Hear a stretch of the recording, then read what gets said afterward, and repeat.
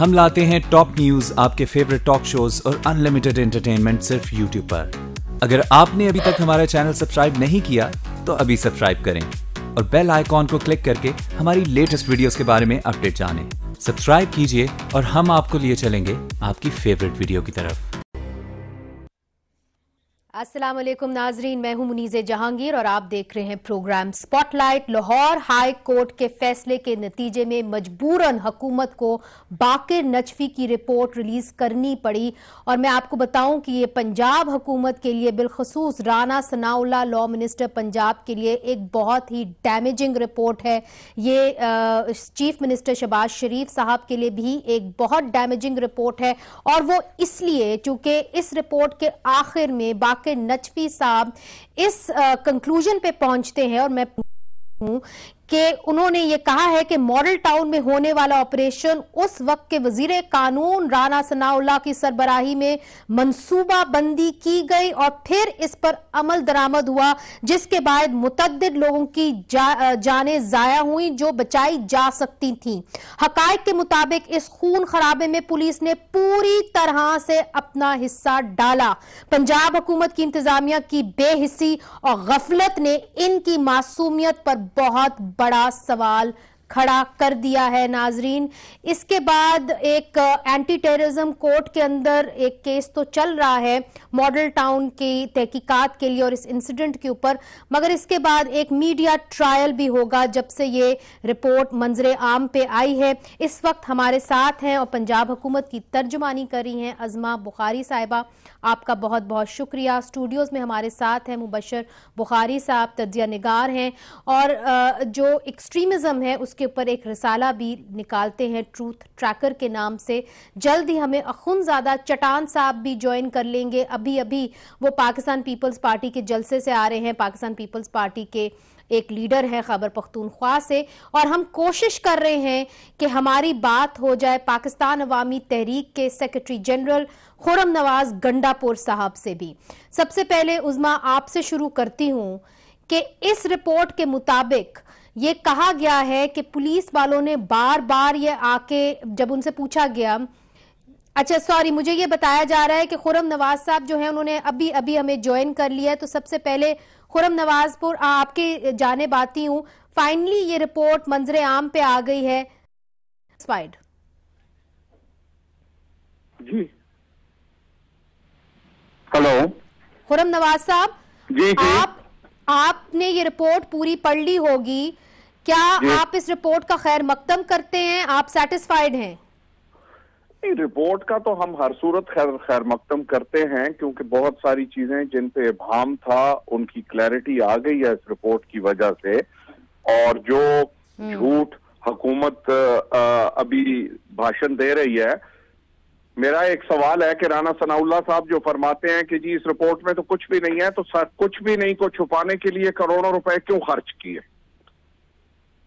हम्म। इन्होंने हुकूमत पंजाब का अपना हम्म। कानून है और सुप्रीम कोर्ट का ये लॉ है कि अगर आप प्राइवेट लॉयर हायर करते हैं तो उसके पैसे देने के लिए आप स्पेशल परमिशन लेंगे इन्होंने ख्वाजा हारिस को क्यों हायर किया अगर रिपोर्ट छुपाने का कोई मकसद हम्म। नहीं था और इस रिपोर्ट से कोई नुकसान नहीं होना था तो ख्वाजा हारिस को करोड़ों रुपए की फ़ीस क्यों दी गई?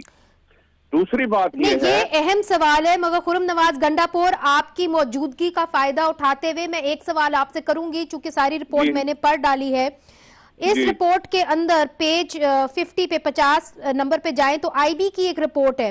और आईबी को बाकी नजफी साहब कोर्ट करते हैं और वो ये कहते हैं कि आईबी ने जो। गवाही दी कोर्ट के अंदर उन्होंने वहाँ पे बताया कि तायरुल कादरी साहब की छत पे से कुछ उनके गार्ड्स खड़े हुए थे और सबसे पहले उन्होंने फायरिंग की स्ट्रेट फायरिंग की जिसके नतीजे में दो पुलिस एहलकार जो थे वो जख्मी हुए। क्या ताहिरुल कादरी साहब के पास कुछ गार्ड्स थे? आपने इसकी तहकीकात की? मेरी मोहतरमा मैं एक बड़ा सिंपल सवाल पूछता हूँ। वो तो कहता है कि खुरम नवाज़ गंडापुर नाजम आला मिनाजुल कुरान जो है वो फायरिंग कर रहा था।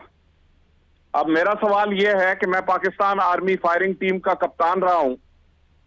इंटरनेशनल कॉम्पिटिशन में मैंने फायरिंग सर की हुई ये है। रिपोर्ट में मैंने कहीं आपका नाम नहीं पढ़ा तो मैं भी- कलामी आपका नाम बिल्कुल मैंने नहीं पढ़ा। अगर आपने सिर्फ़ अपनी बात करनी है और मेरी बात नहीं सुननी तो फिर प्रोग्राम में ना लें नहीं सर देखिए आपको मैंने अपने प्रोग्राम में शिरकत करने के लिए बुलाया है।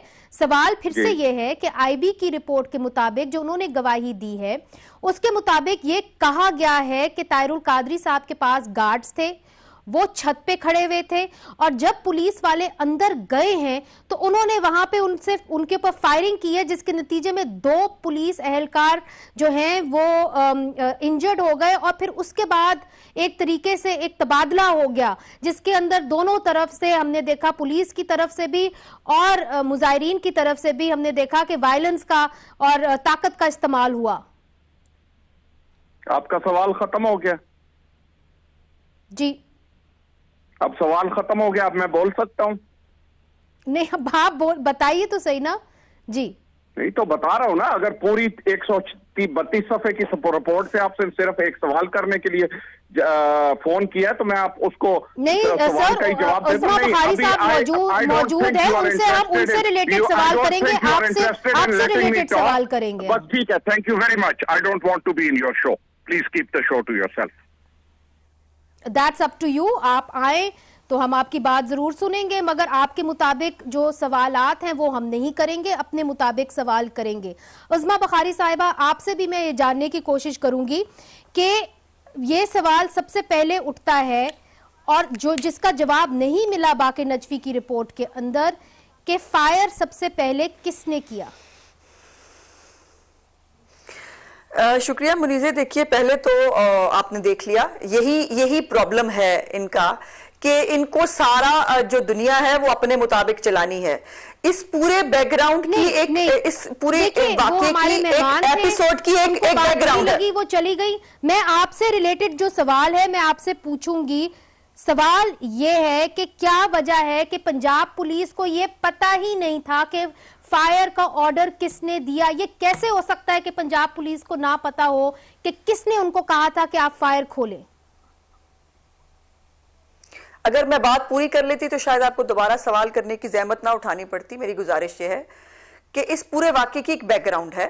और उस वाक्य की बैकग्राउंड ये है अभी जो आपने बाद में, अभी शुरू में इंट्रो में जो कोट किया कि कोई ऑपरेशन जो है वो राना सनाउल्ला साहब की जो है वो सरबराही में किसी मीटिंग में फिक्स किया गया। तो थोड़ा सा मेरी गुजारिश ये है कि आप जरा इसको देख लीजिए दोबारा, जो कहा गया है ऑपरेशन बैरियर हटाने से मुतालिक था।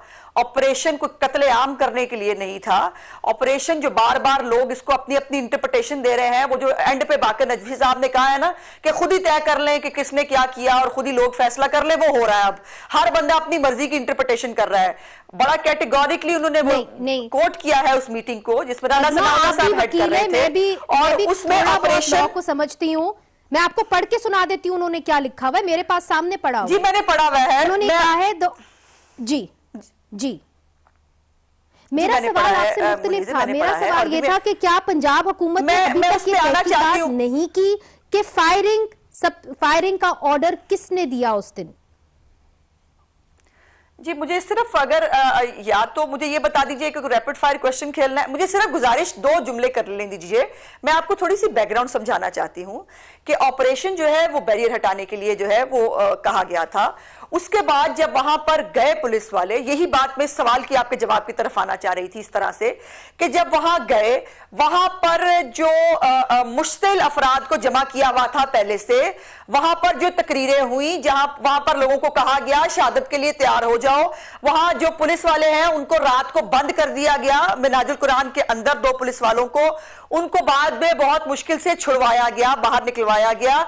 उसके बाद एसी मॉडल टाउन की भी अगर आपने पढ़ा और रिपोर्ट के अंदर कोट किया है उनको नजफी साहब ने, और उन्होंने कहा कि एसी मॉडल टाउन जो है, उसने मुझे वो ऑर्डर भी ला के पेश किया और कहा, जिसमें उसने कहा कि अगर आप खुद ये बैरियर हटा दें तो हम वापस चले जाते हैं। मिनाजुल कुरान को उन्होंने ये रिटर्न जो है, वो पेश भी किया नजफी साहब की कोर्ट के अंदर, लेकिन वो इसके ऊपर नहीं माने। उसके बाद जिसको आप कोर्ट कर रही थी कि फायरिंग हुई ये है पहले तो झूठ झूठ झूठ की बात ये लोग करते हैं। मुझे अफसोस ये है, आज अब नजफी साहब की रिपोर्ट में जो सबसे इंपॉर्टेंट बात है, वो पूरा मीडिया शायद हाईलाइट नहीं करना चाह रहा। और वो ये है, ये आज तक कहते हैं, चौदह कत्ल हुए, चौदह कत्ल हुए। उस रिपोर्ट के अंदर इट लिखा गया है, दस मकतुलीन है।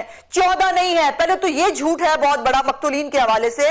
दूसरा जो एंटी टेररिस्ट कोर्ट में मुनीजे नहीं मगर ये स्पेशल ब्रांच की भी रिपोर्ट है अजमा साहिबा ये स्पेशल ब्रांच की रिपोर्ट है। मगर हो सकता है कि बाद में चार लोग और दम तोड़ गए हों। जी नहीं ऐसे नहीं है। जो आज ये एंटी टेररिस्ट कोर्ट में जो आज भी केस चल रहा है ना मुनीजे वो दस दस मकतुलीन के लिए है। आज भी 10 लोगों के केस का ट्रायल हो रहा है। ये आपको भी मालूम है फिर उसका मतलब क्या होता है?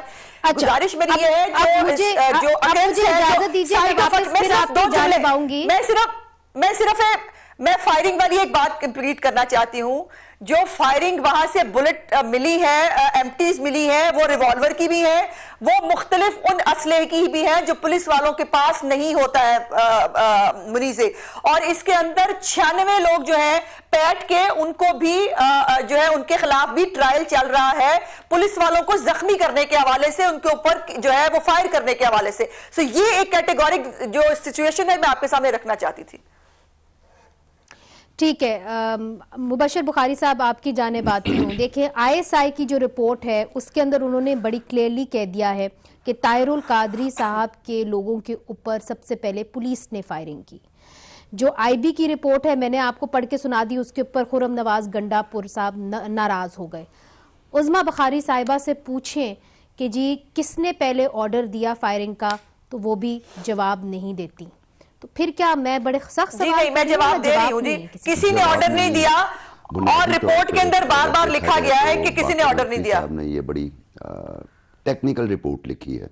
अगर आप इसे देखें तो लगता है कि ये एक बड़े कोहना मुश्क सहाफ़ी की रिपोर्ट है जिसने जो फैक्ट्स मिले जहाँ जहाँ से मिले वो उसने सामने रख दिए और at the end of the day उसने आपको मजबूर कर दिया कि आप इस आप इसकी डायसेक्शन कीजिए और आप फैक्ट्स फाइंडिंग इसमें से कीजिए। इसमें आ, कोई गलत बात नहीं। और दूसरी बात जो हम है आईएसआई कुछ कह रही है आईबी कुछ कह रही है तीसरी जमात स्पेशल ब्रांच कुछ और कह रही ब्रांच कुछ और कह रही। अभी राना सनाउल्ला साहब ने कहा इस, इसकी कोई कागज़ी हैसियत है और इसकी कोई लीगल वैल्यू नहीं है। अभी अजमा फरमा रही थी कि इसमें एक जो फैक्ट है जिसको मीडिया हाईलाइट नहीं कर रहा कि दस मकतूलिन हैं। हम्म। यानी इस इसके इस फैक्ट को तो वो क्रेडिबल जान रही हैं। बाकी मामला में वो कह रहे हैं कि इनकी कोई वैल्यू नहीं है। तो सवाल तो आपके बड़े वैलिड हैं। लोग नाराज़ हो रहे हैं। नाराज़ होने की खुरम नवाज़ गंडापुर साहब की भी कोई रीज़न नहीं थी क्योंकि सवाल ये अभी तक एक क्वेश्चन मार्क है जो ये रिपोर्ट भी एड्रेस नहीं कर पाई उस तरीके से। कंक्लूशन में और ना ही कोई और इन्वेस्टिगेशन यही तो फायरिंग किस तरफ़ से लेकिन यही तो अफसोस यहाँ पे एक और पहलू भी देखा जाए अगर आ, हमने अभी रिसेंटली तहरीक लब्बैक का धरना देखा इस्लामाबाद में उस पर क्रैकडाउन हुआ और उस पर हमारे वफाकी इंटीरियर मिनिस्टर आके कहते हैं कि ये क्रैकडाउन मेरे हुक्म से नहीं बल्कि अदालत आलिया के हुक्म से हुआ हम्म। जिसके हुक्म से भी हुआ रिस्पॉन्सिबिलिटी एक फिक्स की गई और इस तरह के एक्शन बगैर किसी कमांड के नहीं हो सकते तो फिर अब, अब जिस तरह के आपने भी कहा कि देखें बहुत सारे सवालात जो हैं बाकी नजफी की रिपोर्ट छोड़ गई है, उसने जवाब नहीं दिए। चले, शुक्र है कि ये रिपोर्ट सामने भी आ गई है। बहुत सारी रिपोर्टें हैं, नाजरीन, जो सामने नहीं आई, जिस तरह कि उसामा बिन लादिन की रिपोर्ट के उनको कैसे यहाँ पे पना दी गई कैसे उनको मारा गया। मगर हम एक छोटा सा वक्फा लेते हैं, फिर वक्फे के बाद हाजिर होते हैं। बहुत सारी चीज़ें हैं डिस्कस करनी है। लेते हैं वक्फा, वक्फे के बाद हाजिर होते हैं। वेलकम बैक नाजरीन। हम बात कर रहे हैं बाकी नजफी की रिपोर्ट की, जिसने जितनी भी ज़िम्मेदारी है वो पंजाब हुकूमत के ऊपर डाल दी है। मॉडल टाउन केस के अंदर बिलखसूस होम मिनिस्टर राना सनाउल्ला साहब के ऊपर अखुनजादा चटान जो हैं वो हमें ज्वाइन कर चुके हैं। अखुनजादा चटान साहब, अभी आप आ रहे हैं पाकिस्तान पीपल्स पार्टी के जलसे से, जहाँ पे आपके लीडर जरदारी साहब ने कहा कि हम बचा बचा गए हैं मियाँ नवाज़ शरीफ साहब को दो बार, इस बार नहीं बचाएँगे। तो इस रिपोर्ट से क्या आपको लगता है कि गिरती हुई दीवार को एक और धक्का लगेगा और क्या राना सनाउल्ला साहब को इस्तीफा दे देना चाहिए इस रिपोर्ट को मंजरे आम पे आने के बाद? बिस्मिल्लाहिर्रहमानिर्रहीम। देखिए जी, ये तो कोई साइंस रॉकेट्स नहीं है, ये तो सीधा सीधा वाक़ है मॉडल टाउन का। इसमें दो तरीके और इसमें दो लोग जिम्मेदार हैं। दिन दिहाड़े चलो दस बंदे मर गए बीस मर गए पचास मर गए। एक तो है दहशत गर्दी एक है रियासती दहशत गर्दी ये तो रियासती दहशत गर्दी हुई है। ये तो हकीकत है कि गोली तो सनाउल्ला ने नहीं चलाई गोली तो शाबाज शरीफ साहब ने नहीं चलाई। लेकिन इस तरह का काम हाई कमान के अथॉरिटी के बगैर नहीं हो सकता है। और अगर मुनीजा ये माना जाए कि ये हाई कमान के बगैर ये इस तरह का हुआ है और किसी ने उसको कमांड नहीं दिया। और हमारे फोर्सेस के हालात ये है कि वो दिन दिहाड़े अपने मर्ज़ी से किसी के ऑर्डर के बगैर, किसी हुक्म के बगैर चौदह पंद्रह बंदे मार सकते हैं। ये तो फिर और अफसोसनाक बात है। सीधा सीधा केस मगर अखुनजादा साहब, ये बताइए कि एंटी टेररिज्म कोर्ट में इस वक्त एक मुकदमा भी चल रहा है। पंजाब हुकूमत के खिलाफ। क्या हम इंतज़ार करें कि ये मुकदमा जो है अब कैफरे के दार तक पहुँचाया जाए या जो मुलजिम है उनको पकड़ा जाए या कि हम पहले ही मुतालबा कर दें राना सनाउल्ला साहब का और शायद और लोगों का इस्तीफा का? भाई ये लोग किसी ने तो मारे हैं ना। उजमा ने अभी फरमाया कि ये तो वहाँ पे इस तरह के खोल पड़े थे उस तरह के खोल पड़े थे। हम्म। अगर उस तरह के पड़े थे तो वो पकड़े। ये बंदे किसी ने तो मारे हैं। हम्म। अगर आप समझते हम्म। हैं कि ये जनाब मोहतरम कादरी साहब के लोगों ने खुद से फायरिंग करके और मारे तो वो लोग पकड़े।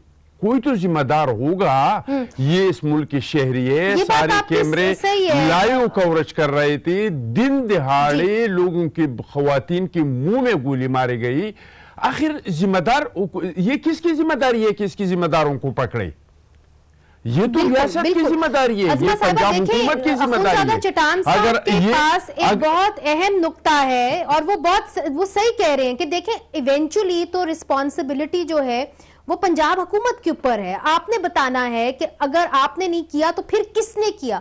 और सवाल ये भी बनता है कि उस बाकी नजवी की रिपोर्ट के मुताबिक वो कहते हैं कि सीएम साहब ने एक बजे तक ये दरियाफ्त नहीं किया कि क्या हो रहा है बाहर। एक बजे तक वो मीटिंग्स में रहे उनको नहीं पता था कि क्या हो रहा है। टीवी पे ये सारा कुछ दिखाया जा रहा था। देखिए जी अगर सीएम साहब को नहीं पता था तो, तो मैंने उजमा साहिबा से ये बात की है। जी। मैं कुछ हकाई की दुरुस्तगी चाहती हूँ मुनीजे। एक तो मेरी गुजारिश ये है कि जो बार बार आप फरमा रही हैं कि इसमें पंजाब हुकूमत को जिम्मेदार ठहराया गया है या वो किया गया है ऐसा कतई तौर पर फाइंडिंग्स के अंदर आप पढ़ लीजिए। फाइंडिंग्स के अंदर भी उन्होंने लिखा है कि खुद पढ़ ले कौन जिम्मेदार है। जो बात वो खुद लिख नहीं सके वो आप आभार बंदा अपने अपनी इंटरप्रिटेशन दे रहा है। इस पूरी रिपोर्ट के अंदर किसी एक शख्स के ऊपर किसी एक इदारे के ऊपर जी मैं आपको कोट कर दूँ मैं कहाँ से ले रही हूँ ताकि क्लियर हो जाए operation plan and design under the chairmanship of the law minister resulted into the gruesome killing could have easily been avoided. The facts show that the police actively participated in the massacre. The apathy and recklessness of all authorities in Punjab created a genuine doubt about their innocence. ये मैं coat कर रही हूँ मैं अब इसके ऊपर गुजारिश कर सकती हूँ मैंने मैंने लास्ट मैंने कहा लास्ट आपके क्वेश्चन के आंसर में भी गुजारिश की थी करने की। ये ऑपरेशन जिसके बारे में बात हो रही है मुनीज बीबी जिसके ऊपर ही मुख्तलिफ़ एफिडेविट्स भी मौजूद हैं मिनट्स ऑफ़ द मीटिंग्स भी मौजूद हैं। जिस मीटिंग का ज़िक्र हो रहा है वो ऑपरेशन था बैरियर्स हटाने के हवाले से। मैं इसको पहले भी क्लियर कर चुकी हूँ बार बार क्लियर कर रही हूँ और ये रिपोर्ट में कई दफ़ा लिखा गया है कि ऑपरेशन जो है बैरियर पे दिखाया जा रहा था ये ये ऑपरेशन जो था ये लाइव टेलीविज़न मैं आ रही हूँ जी मैं इस बात पे आना चाहती हूँ।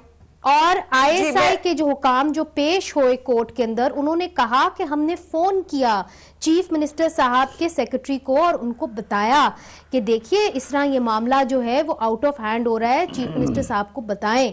और उन्होंने कहा कि ठीक है उनको मालूम है। फिर उन्होंने आपके एक और ऑफिशियल को फ़ोन किया तो पता चला कि वो दफ्तर में ही नहीं आए हुए। तो ये सारी चीज़ें सामने अब आ गई हैं। कुछ तो जवाब होंगे ना।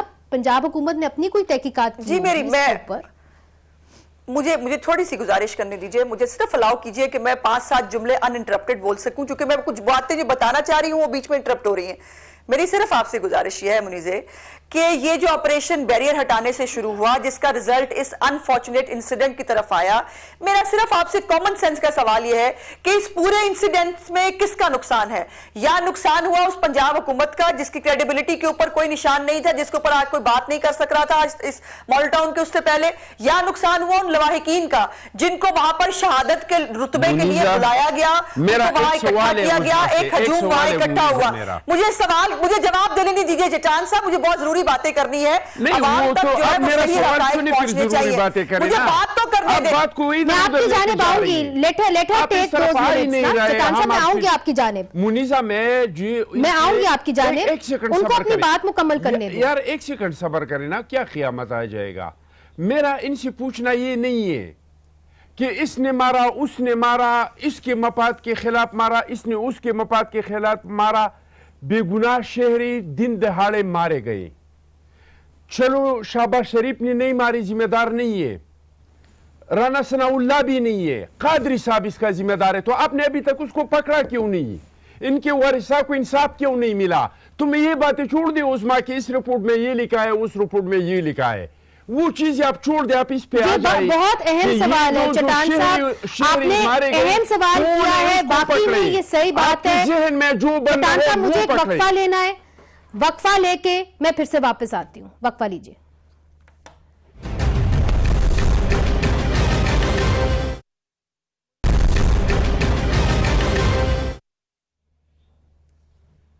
वेलकम बैक नाजरीन। अजमा, जो ब्रेक से पहले अखुनजादा चटान साहब ने सवाल किया था, आप लोग जो भी इल्ज़ाम लगाएँ, सवाल ये है कि गोली चलाने का ऑर्डर पहले किसने दिया था या पहले किसने गोली चलाई थी? क्या वजह है कि आज तक पंजाब हुकूमत के पास इसके पास कोई जवाब नहीं है? नहीं, बिल्कुल जवाब है मुनीजिया मुझे सिर्फ़ इजाज़त दीजिए कि मैं ये इस अहम सवाल के ऊपर जो है वो बात कर सकूँ। मेरी गुजारिश यह है, रिपोर्ट में बारहा कहा गया। मैं कोट कर देती हूँ आपको, बारहा कहा गया। कि हम, मुझे, हमें पता नहीं चला कि पुलिस को गोली चलाने के लिए या इसको कमांड कौन कर रहा था इस ऑपरेशन को। और ये कोई सबूत मौजूद नहीं है। रिपोर्ट इसके ऊपर कह रही है, मुझे कोई सबूत नहीं मिला। उन्होंने कहा, पुलिस वाले एक दूसरे को बचाते रहे। सबूत उनको नहीं मिला। लेकिन उसके बावजूद बहुत सारी बातें ऐसी कही। अभी चटान साहब ने जो सवाल किया, वो बार बार वो एक जज्बाती बात होती है ना, पढ़ा मेरे ख्याल उन्होंने रिपोर्ट है नहीं। गुजारिश यह है कि जो रिपोर्ट जो है इंक्वायरी एक्ट की रिपोर्ट जो है, वो गवर्नमेंट को सजेशन दी जाती है उसके ऊपर बताया जाता है कौन कल्प्रिट है इस रिपोर्ट के अंदर। ना किसी को मुद्रे इल्ज़ाम ठहराया गया है ना किसी के ऊपर कोई इवन पुलिस वालों के ऊपर कोई ज़िम्मेदारी फिक्स नहीं की गई। और मैं आपके लिए बात ताहिरुल कादरी साहब ने तो भी थोड़ी देर पहले एक चैनल के ऊपर कहा है कि पुलिस वालों का अब ये देखिए ना ये तो साहब। तरीका है। नहीं नहीं चटान साहब अलाउ आपको करो। ताहिरुल कादरी साहब ने अभी एक। चैनल जी बात मुकम्मल करें। इनसे बात कर ले आप इनसे बात कर लीजिए मैं बाद में बात कर लूँगी। नहीं नहीं चट्टान साहब मौका तो देना अगले को बात करने के लिए। जी अजमा साहिबा। मैंने तो औरतें सुना था कि बदनाम होती हैं लेकिन कमाल है। मेरी गुजारिश यह है कि तारुल कादरी साहब ने अभी एक निजी चैनल के ऊपर उन्होंने कहा कि पुलिस वालों का कोई कसूर नहीं है, पुलिस वाले इसमें इन्वॉल्व नहीं है, इसमें कोई कलदम तंजीमों के लोग आए हुए थे और उन्होंने ये फायर किए। अब ये बिल्कुल ही टोटल एक नई स्टोरी है, जो आज उन्होंने खुद एक टीवी चैनल के इंटरव्यू में कही है। मेरी गुजारिश यह है कि जो ट्रायल चल रहा है कोर्ट के अंदर, आपको भी पता है कि किसी के ऊपर जो किसी की सजा और जजा का फैसला कोर्ट ने करना है। ये कमीशन जो है, ये रिपोर्ट जिसका बायकॉट किया था, इस रिपोर्ट के अंदर ये जज साहब जो है, ना इन्होंने कोई फोरेंसिक देखा है ना कोई मेडिकल देखा है ना इन्होंने अक्रेंस की जगह देखी है कोई सबूत नहीं देखा सिवाय चंद लोगों को बुलाने के और उनका इंटरव्यू करने के मगर मगर बहुत अहम सवाल उठाए हैं अंदर साहब भी बैठे हुए हैं और हूँ पे मौजूद थे उन्होंने जाके वहाँ पे पूरी इन्वेस्टिगेशन की मुबशर बुखारी साहब उस दिन 12 बजे आई मुझे सिर्फ़ दो जुमले कहने की इजाज़त दे दीजिए। चार्ज उठाया। और जितने भी हलाकतें हुई थी उजमा अलाउ मी वो 12 बजे से पहले हुई थी। तो देखिए बहुत अहम सवाल उठाए गए हैं इस रिपोर्ट के हवाले से। तो आप कुछ कहना चाहेंगे जी मैं चूँकि मैंने इसको बड़ा वाइब्रेंटली एक फॉरेन वायर के लिए रिपोर्ट किया था। और जो एविडेंस मिली थी इसमें कोई शक वाली बात नहीं है कि पैट वालों ने रेजिस्ट किया था पुलिस की मूव को बैरियर हटाने में। उस पर यरगमाली भी बनाए होंगे पथराव भी किया था जो आप में बेटन चार्ज से काम शुरू हुआ और फायरिंग पे ख़त्म हुआ। जो कहा जाता है जो आईबी कह रही है इस रिपोर्ट में कि कादरी साहब के गार्ड्स की तरफ़ से फायरिंग हुई। शुरू स्टार्ट के एविडेंस हमें वहाँ पे नहीं मिले। और एट द सेम टाइम अगर आप देखें तो उसके पीछे बैकड्रॉप में एक सीन चल रहा था गुल्लू भट्ट का हम्म। जो गाड़ियाँ तोड़ रहे थे। हम्म। तो इसका मतलब है कि वो फ्री हैंड एक दिया गया था एक। दूसरी बात सबसे हम चलिए हम पुलिस को फ्री हैंड दिया गया था। पुलिस को फ्री हैंड दिया गया था। ओके ठीक है और पुलिस के साथ पीएमएलएन के एक्टिविस्ट भी शामिल हो गए। दूसरी सबसे अहम बात जो यहाँ पे क्वेश्चन बनता है। ठीक है इसमें हमारी पॉलिटिकल लीडरशिप इन्वॉल्व नहीं थी। चीफ मिनिस्टर को नहीं पता था लॉ मिनिस्टर को नहीं पता था। जो पुलिस ऑफिसर्स थे या जो मीटिंग थी उसमें तोकीर शाह साहब on behalf of chief minister Punjab शरीक हुए इसमें मेंशन किया गया है उनका नाम बिल्कुल उनका नाम ठीक है, है। वो सारे पुलिस ऑफिशियल्स कहाँ हैं? तोकीर शाह साहब कहाँ हैं? क्या उन्हें पनिश किया गया इस बात के बाद? हम्म। उनको बड़े ज़्यादा लुक्रेटिव अहदों पर भेज देगा तोकीर शाह साहब बाहर हैं कहीं? डब्ल्यू टाइप की चीज़ में लगे हुए हैं। हमारे जो आईजी रिटायर हुए हैं वो उन्हें आपने इस्लामाबाद भेज दी है। हैवी सैलरीज के ऊपर। तो किसी एक को किसी एक को आपने पॉइंट आउट किया हो पंजाब गवर्नमेंट ने हम्म। और किसी एक को पनिश किया हो हम्म। वो भी हमें प्रेसिडेंट नहीं मिलती तो ये एक बड़ी मिस्ट्री और माइंड बॉगलिंग किस्म की मिस्ट्री बनती जा रही है हम्म। ये सारा केस और इसके अंदर माइंड बॉगलिंग इसलिए भी है क्योंकि पंजाब हुकूमत के पास भी कोई खास जवाब नहीं है मगर अखुनजादा चटान साहब अगर एक और खबर की तरफ़ हम देखें तो कल ही रिटायर्ड जनरल मुशरफ ने एक ऐलान किया उन्होंने कहा कि वो लश्कर तैयबा और जमातुल दावा की सरबराही करने को तैयार हैं। तो आज तो बिलावल भुट्टो साहब ने ये कह दिया कि जी, हम एक ऐसा समाज चाहते हैं जो मजहबी मुनाफरत से पाक हो। तो आपको लग रहा है कि लबैक पाकिस्तान जो इलेक्शंस जीत रहे हैं और बाकी सारी जो तंजीमें हैं जिनके पर यूएन के बाकायदा बैन लगे हुए हैं, वो सामने आ रहे हैं, फॉर्मर जनरल्स उनकी सरबराही कर रहे हैं, क्या हम ऐसे पाकिस्तान और ऐसे समाज की तरफ़ जा रहे हैं? देखिए जी वो कौन ऐसे बदबख्त लोगों के जो वो मुशर्रफ को अपना सरबरा बनाएँगे मैं तो नहीं समझता हूँ कि इस पाकिस्तान में कोई इस तरह का तंजीम है कि वो इस चीज़ के लिए तैयार है कि बस मुशर्रफ हमारा सरबरा हो आखिर मुशर्रफ में क्या क्या खासियत है मुशर्रफ में मुझे तो इसमें कोई खासियत नज़र नहीं आ रही है मैं तो कुछ इस तरह अच्छा, का एक और फिर बयान की वजाहत कर दे चटान साहब। आज जरदारी साहब ने एक बयान दिया है। उन्होंने कहा है कि इनकी जमहूरियत को नहीं बचाएँगे अपनी जमहूरियत लाएँगे और उन्होंने इंडिया भी दे दिया कि हुकूमत का कबलस वक्त खात्मा हो जाएगा। तो आप किस बुनियाद पे कह रहे हैं कि हुकूमत का खात्मा हो जाएगा? वो जो डीलिमिटेशन का बिल है मैंने तो सुना है उसके ऊपर आप लोगों की कोई अंडरस्टैंडिंग हो गई है? अब मैंने ये भी सुना है और आपके अपने लोग कर रहे कह रहे हैं मंजूर वसान साहब कि एक मीटिंग होगी जरदारी और नवाज़ शरीफ साहब के दरमियान।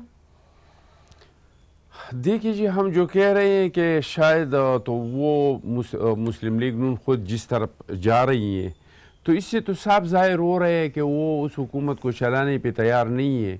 और ये खुद उससे जान। छुड़ाना चाहते हैं लेकिन इसके लिए कोई बहाना ढूंढना चाहते हैं या वो कोई शहादत चाहते हैं हम तो ये मौजूदा अदवार में अगर कोई ख़तरा समझते हैं मौजूदा सिस्टम के लिए और हम समझते हैं कि इसम्बली अपना टाइम टाइम पूरा नहीं करेंगे तो वो ख़तरा तो हमें किसी और साइड से नहीं है वो ख़तरा हमें सिर्फ़ और हम्म। सिर्फ़ जो है आ, आ, मुस्लिम लीग नून से है और हम जो कह रहे हैं कि इनकी जमहूरीत को नहीं बचाएँगे तो मुस्लिम लीग नून ने नवाज़ शरीफ और इनके फैमिली को जमहूरियत का नाम दिया है हमें जो हमारा जमहूरियत है जिनके लिए हमने कुर्बानियाँ दी हैं जिनके लिए हमने जेलें काटे हैं जिनके लिए हमने शहादतें दी हैं इस जमहूरियत को कोई ख़तरा नहीं वो मुस्लिम लीग का जो जमहूरियत है जो सिर्फ़ नवाज़ अच्छा। शरीफ साहब के फैमिली का नाम है तो इसके साथ हम इसके साथ खड़े नहीं हैं और खुदा न खास्ता अगर अच्छा। सिस्टम को कोई खतरा हुआ तो हम चाहे वो इमरान खान साहब हो वो नवाज़ शरीफ साहब हो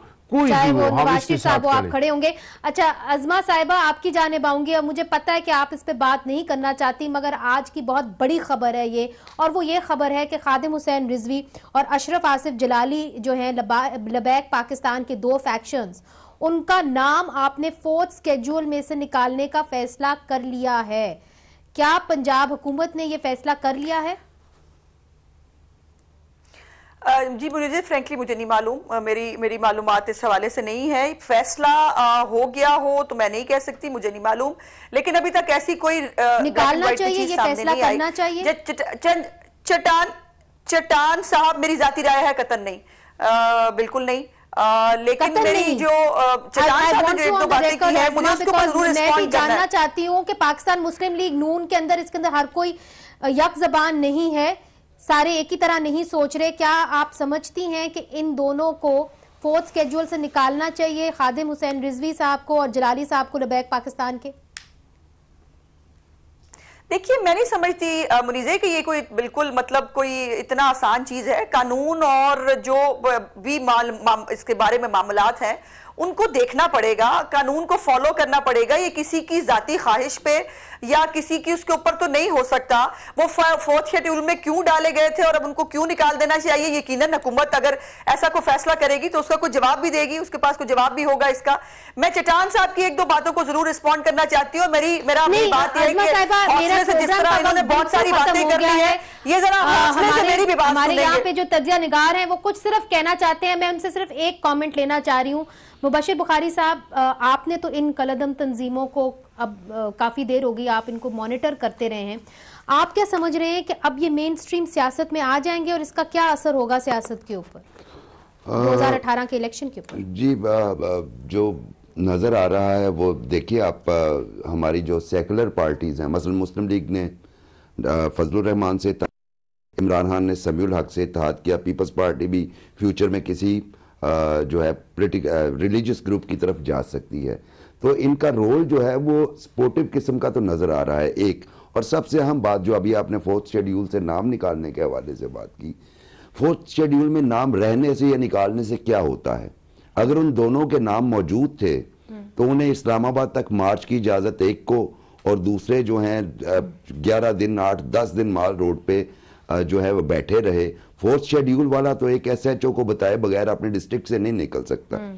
तो क्या फ़र्क पड़ता है फोर्थ शेड्यूल में हो ना हो मसला हम्म। यह है कि वो ताकतवर होते जा रहे हैं और ताकतवर होते जाएँगे हम्म। क्योंकि हमने देखा है तहरीक तालिबान से लेके तहरीक लब बैक तक जितनी तंजीमों के साथ आपने पीस एग्रीमेंट किए हैं सारे फ्लॉप हुए हैं और वो पीपल्स पार्टी ने की हो मुस्लिम लीग ने की हो जनरल मुशरफ ने की हो और वही लोग जो हैं एग्रीमेंट करने के बाद वायोलेट करते हैं उन्हीं एग्रीमेंट्स को और फिर मजीद स्पेस मांगते हैं। हम्म। तो ये जो एग्रीमेंट हो रहा है पंजाब गवर्नमेंट के साथ या हुआ है ये वायोलेट भी होगा और ये लोग मजीद स्पेस भी मांगेंगे। और फोर्थ शेड्यूल जो है इरेलीवेंट हो जाते हैं सारी सूरत हाल में। मुबशर बुखारी साहेब उज़मा बुखारी साहिबा और अखनजदा चटान साहब, बहुत बहुत शुक्रिया हमारे इस प्रोग्राम में शिरकत करने का। तो नाजरीन, बाकी नजफी की रिपोर्ट जो है, वो सामने तो आ गई है, मगर बहुत सारे सवाल छोड़ गई है। इस रिपोर्ट के बाद पंजाब हुकूमत को अपना दामन साफ़ करना होगा। क्या वो एक अलग इंक्वायरी बिठाएँगे या कोई तसली बख्श जवाब देंगे, ये तो वक्त ही बताएगा, मगर फ़िलहाल ऐसा लगता है कि पंजाब हुकूमत के ऊपर एक बहुत सारे सवालिया निशान उनके सामने आके खड़े हो गए हैं। आज के लिए इजाज़त दीजिए, खुदा हाफिज़।